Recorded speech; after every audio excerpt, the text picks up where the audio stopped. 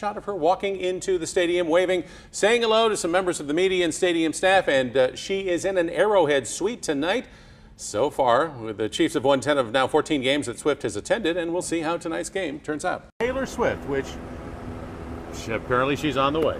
Well, yeah, well, we've confirmed it um, from our own Johnny Rollins, yep. who spotted her plane in downtown uh, Kansas City, the downtown airport. So, and we also saw many fans today passing out friendship bracelets. So, her warm welcome has been um, warming up, that's for sure. They welcome another season of Taylor Swift in Chiefs Kingdom honestly, it just creates a little bit of magic. There's more fans, more fun. You can't really complain about that. It's cool that she gets to be normal and be here, even though she's not normal at all. I don't expect her to be here every time, but it was a deciding factor. We all planned this kind of together we on a whim. Um, like, but yeah. also are fans of the Chiefs. From our seats, we might be able to see her. So she was pretty excited about that. All right, Swifties and Chiefs fans will be in the Power and Light District, that's for sure. KC Live hosting a block party right now, and you're looking at live pictures of the PNL downtown. And the party just started moments ago.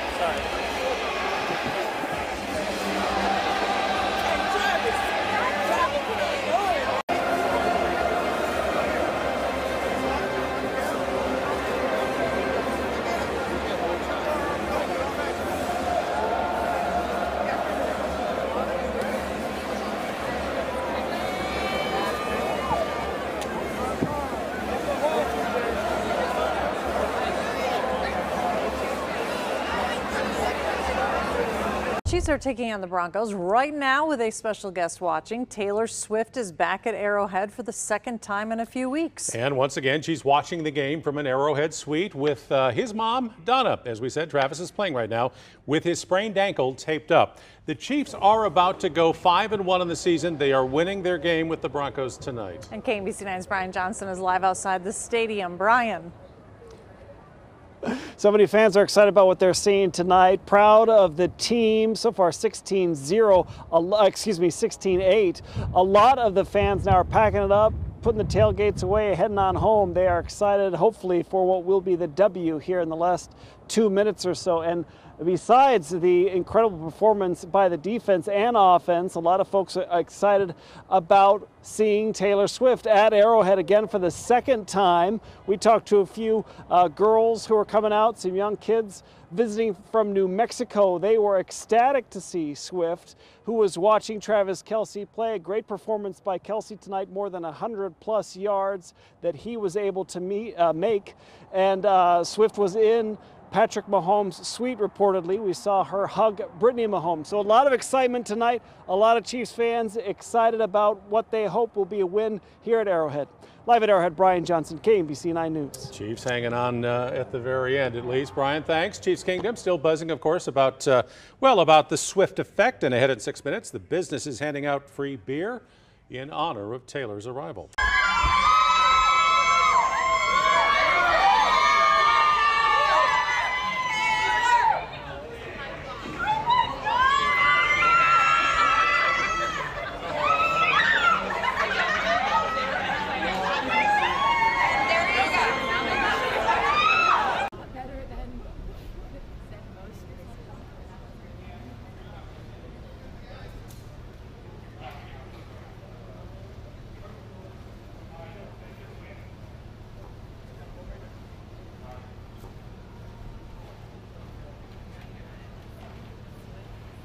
Travis Kelce's biggest fan made the trip to Foxborough this weekend, sitting between Brittany Mahomes and her dad.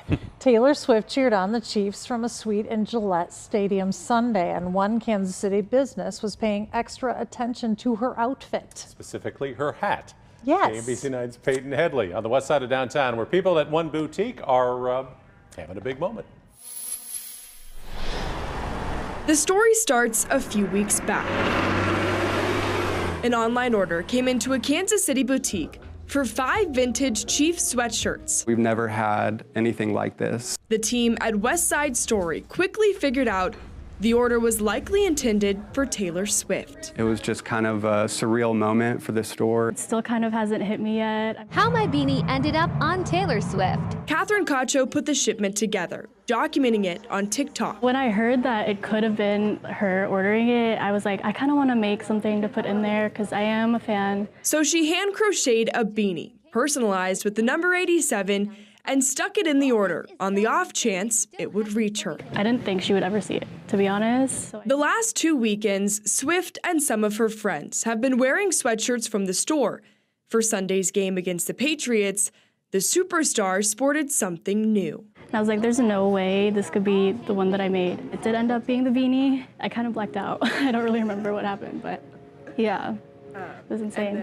Since then, business for Cacho and Harrington has skyrocketed. It's not even regional or just America, it's worldwide. We're sending packages out all over the globe. And this is just the beginning for their West Side story. It does allow us to start dreaming bigger than we ever have, and it's pretty exciting for us as a small business. In Kansas City, Peyton Headley, KMBC 9 News. Pretty I have exciting. chills. Pretty exciting. For them. That is crazy. I'm so excited for them. It takes Cacho about three hours to knit each beanie. She had to close down her shop when she reached 200 hours orders. That's nearly 600 hours of work ahead of her. Isn't that something? Oh, that's It awesome. really is. We are not done celebrating the Chiefs' huge win last night in Baltimore. Well, Taylor Swift celebrated her boyfriend's big moment right there on the field, and her choice of jewelry is now changing a woman's life. KMBC 9's Peyton Headley is in Brookside to show us how that happened.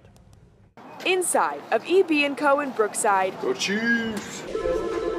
It's been busy. I know, isn't that crazy? The local KC store sells all kinds of accessories and jewelry. We try to lean into anything kind of fun and kitschy. This season, they have a new Chiefs collection. This is all the Kansas City stuff. Kelce coin purses. We have our custom uh, 87 clips. On Sunday night, one of their smallest items made it to one of the biggest stars in the world. You're all like, oh my God, this is not possible. This isn't true. What's happening? Taylor Swift wore one of their number 87 rings to the AFC Championship game. It was just like right on her little pointer finger. And I'm like, holy moly, what just happened? This is insane. For owner and creative director Emily Bordner, that was a monumental moment. It felt like probably the biggest thing for my business ever. Since Sunday night, EB & Co. has sold more than 500 items. It's little bananas right now. Any Travis and Taylor? She says it all started by sending a gift package to Donna Kelce. We gifted Donna some pairs. We know that she loved our earrings, and so we wanted to gift her even more of Kelce themed products. So we sent those to her, and then um, we were hoping that she would gift them to Taylor, and she did. Now they're working on getting all those orders out the door. Thank you so much for your. In Brookside, Peyton Headley, KMBC 9 News. Now, they are sold out of those rings in the store. You can pre order them online for $14 each.